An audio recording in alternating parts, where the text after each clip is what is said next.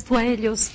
Trabajando mucho, siendo exigente primero conmigo mismo, perfeccionando mucho mi trabajo, no teniendo miedo a que, se, a que te pueden llegar a escuchar y puede llegar a gustar eso. ¿no? Y sí hay, mm, existen reclamos o algunos rechazos, pero por cosas mínimas que puedes pulir y que puedes mejorar. Yo creo que lo mejor es escuchar a la gente, ¿no? Y a la gente que sabe más que todo. Eso. El hecho de haber empezado ambos tan jóvenes en el mundo del arte, eh, de la música, y, el hecho de haber soñado también en grande, ¿habrá sido el motor para llegar hasta donde están? Empezamos contigo, Anet.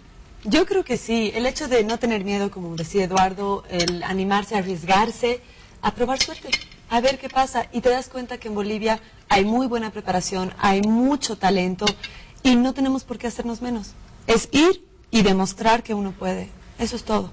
A nivel personal, ¿no? Claro, y luego la gente no, se da claro. cuenta. Así es. Que la diferencia es que, que nosotros nos hacemos en terreno. No vamos a una escuela o tal para poder aprender, o sea, nos hacemos en terreno y, y es, ah, es una formación que tenemos en sí los bolivianos en todo, hasta en la conducción. Hablo de conducción de, de autos y demás, o sea, yo creo que son, son, somos muy buenos en lo que hacemos, pero porque nos, nos lo buscamos. Yo, yo en todo momento, y no es por quedar bien acá en, en cámaras ni contigo, en todo momento defiendo a mi gente boliviana, Estoy porque yo sé, yo sé lo que es capaz de hacer. Y, y ya lo ha demostrado, lo que pasa es que a veces somos un poco callados y no decimos. tímidos, Sí, sí, no sé qué pasa. Bueno, y es que una de las reglas eh, es cero timidez cuando uno sale fuera del país y, y hay que arriesgarse pues a tocar Es que no te puertas y de decir, aquí otra". estoy, por Claro. favor, véanme, ¿no? Claro, no te queda de otra. Te la, estás solo, tienes que arreglártelas, tienes que perder el miedo. Eso es un hecho. Así Eso es es. un hecho. Sí.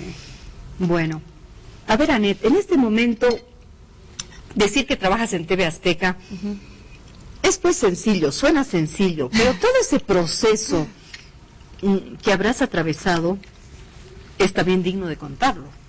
Sí, es un proceso largo. Ya casi llevo cinco años en TV Azteca. La entrada fue como bailarina. O sea, originalmente fue como bailarina. Ya ahí bailando, estuve dos años y medio en Venga la Alegría, me di cuenta que me gustaba la televisión. Pero ya la parte de producción, la parte de reportajes, de conducción, un poquito más allá que en la parte de danza. Entonces, y también la danza es muy limitada en cuestión de edad, de físico y de tiempo. Me di cuenta que tenía que empezar a hacer otra cosa. Yo aquí estudié administración de empresas, ya con el título, como que uno se puede defender un poco más. Y empecé a tomar clases de actuación, de dicción principalmente, porque Tienes, tenía que neutralizar el acento. Allá, allá la R, la doble L se pronuncia diferente. Entonces, de dicción, de actuación, tomé un taller de Todo dirección en de escena, México. todo en México. Mientras bailaba, tomaba estos talleres. Cuando ya dije, ok, hora de probar, renuncié. Renuncié a Venga la Alegría, no tenía nada, renuncié así sin tener nada y a las dos semanas me hablan de a quien corresponda. El señor Jorge Garralda, que es uno de los comunicólogos más respetados en México, y me da la oportunidad de hacer reportajes con artesanos, es un área social, con artesanos y de turismo, pero a nivel cultural. Entonces ahí aprendo todo, me empiezan a enseñar, empiezo a hacer reportajes y me fue muy bien con el señor Garralda. Me dio la oportunidad de presentar mi sección en el foro, que se fue como el primer paso en la conducción. Y eh, ya después de estar dos años ahí, me vuelven a hablar de Venga la Alegría, pero ya como reportera y conductora. Claro. conductora, que ya vamos el a productor de me dijo, eso. es que la- tú eres de acá, dije, me dijo, tú eres de la familia de Venga la Alegría y es un orgullo para nosotros que desde estar como bailarina vuelvas en otra faceta y la gente le va a encantar. Decía, ya vamos a hablar de eso porque tiene un programa de turismo y, y va a mostrar nuestro país en ello. Pero bueno, Eduardo, en el caso tuyo, seguro ya tienes la nacionalidad española para poder trabajar como lo haces, ¿no? Está solicitada la nacionalidad española, tengo lo que es la residencia indefinida, o sea, definitiva, perdón. Eh, sí he solicitado recientemente lo que es eso y también tengo posibilidades de poder viajar a Estados Unidos y poder Claro, hacer Yo te también. pregunto esto, porque son miles de bolivianos que miran a España, ¿no?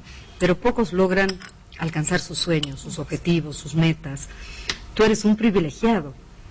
Sí, muy trabajador, como muchos de los bolivianos que han ido, han ido a trabajar bastante, cada uno en, en un, en un tipo de trabajo diferente, pero yo creo que sobresaliendo cada uno en lo que hace. Y yo soy muy orgulloso en eso, de que ahora está muy complicada la cosa de trabajo en España, pero en una empresa grande que existan bolivianos trabajando, se quedan, porque son los que trabajan.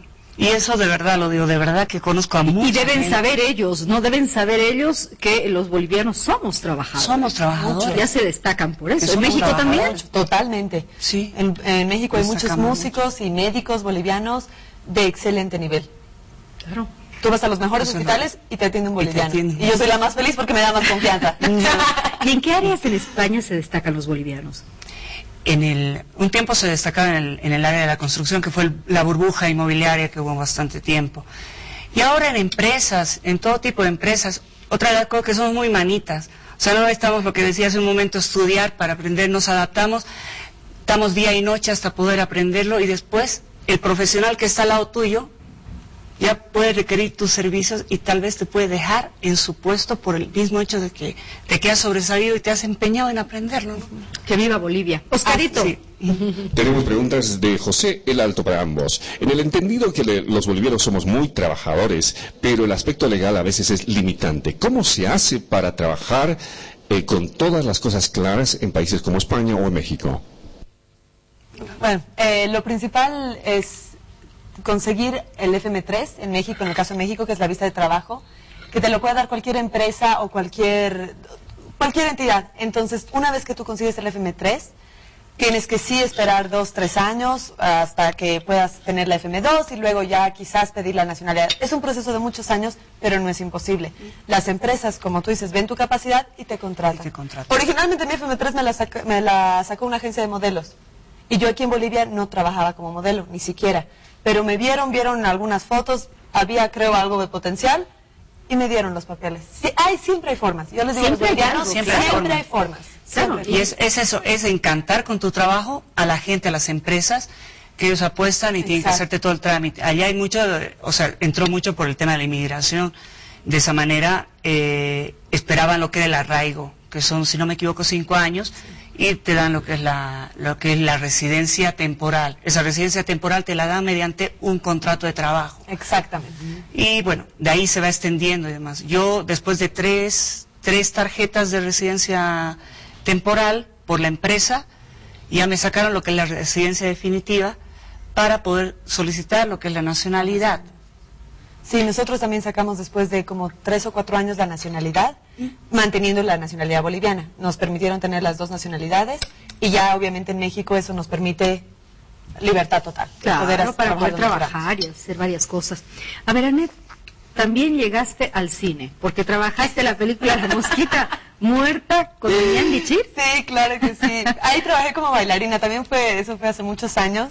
Eh, era un- una como comedia musical, la película, eh, yo era bailarina en aquella película. Tuve el placer, por única vez, no sé si se volverá a repetir, de ir a verme al cine. Claro, es una sí. maravilla, una maravilla.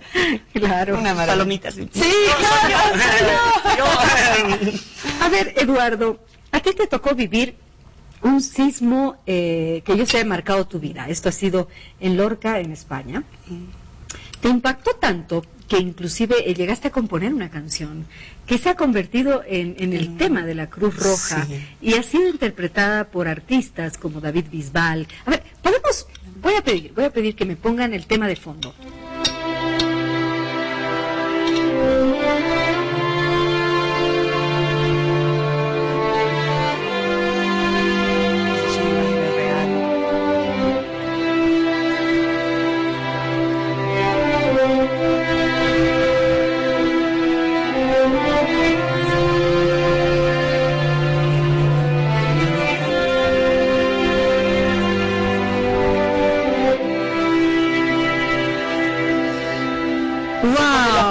¿Sabes que sí, verdad? Se nos pone chinita la piel. Escuchen, escuchen esa voz. Explícame por qué todo cambió, se derrumbó, tembló mi piel. Me hace saber, tierra que es tu dolor, querida estás y es tu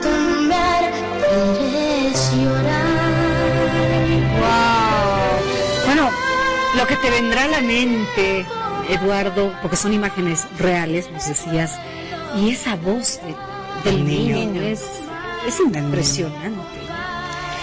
Mira, o sea, fueron muchas cosas que pasaron con esta canción, te las resumo. Eh, pasa lo del sismo, estaba grabándole el disco y componiéndole las canciones al niño que es Sergio Almagro, de 10 años, y en ese proceso yo sabía que él era de Murcia, de donde pasó lo del Orca. Y dije, qué mejor componer una canción con la mirada de un niño, porque ¿qué, dice un niño a todo esto? Como entender, o sea, no, no sé por qué pasa esto. ¿Ya? Y, y hablando también de la tierra, o sea, le estamos haciendo daño, ¿vale? La- las preguntas que se va haciendo. de- y traté de reflejarlo en él. Debo, debo, o sea, estaba súper admirado de que en 48 horas que se compuso la canción, se produjo, lo traje al niño a grabar al estudio. ¿Sabes qué? Es que venga un niño de 10 años y le dé la letra y le diga, ¿puedes aprenderte esa canción? Sí. Graba, graba, graba el video y se sube, se ¿Qué es de publica. este niño? Él está ahora mismo sacando su producción con la colaboración de... Una cosa adherida a esto fue la llamada de Juan Carlos Calderón, compositor A ver, Juan Carlos Calderón, rapidito para que nos expliques, es un compositor muy, muy famoso, muy querido, muy admirado, no solamente en España, sino en el mundo. A ver, ¿qué canciones ha compuesto? Para que la gente también Así, entre en súper acción. rápido. Cartas amarillas, Nino Bravo, La Incondicional, Fría como el viento, Luis Miguel. Eh, después canciones de Eres tú, Tómame o déjame de Mocedades. O sea, un montón, María Conchita Alonso. Todos los éxitos de éxitos, la verdad. Y Eres tú, por ejemplo, está entre las 12 canciones más, eh, o sea, más catalogadas en Eurovisión, en todo Eurovisión que ha habido. Es el número 12 y es una persona muy sencilla, la verdad. ¿Cómo es tu relación con él? Muy bien. Es una persona mayor, pero me ha sabido acoger bien y he llegado a entenderme.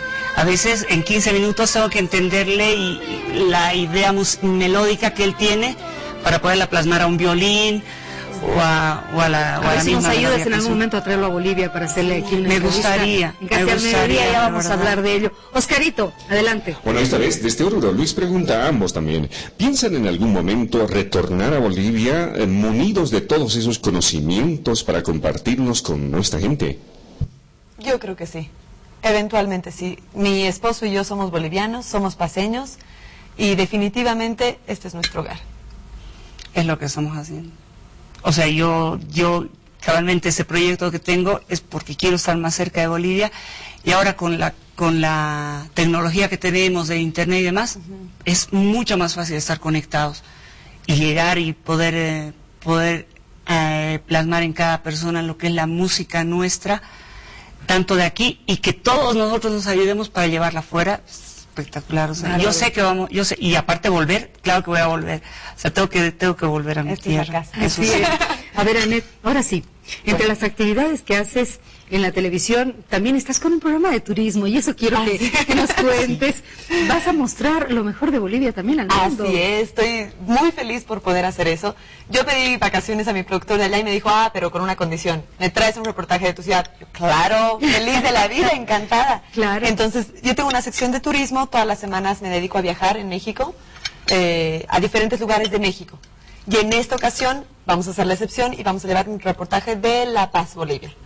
Entonces ya me fui a grabar, me está ayudando mi cuñado Andrés Rojas, que estudió cine también en Argentina.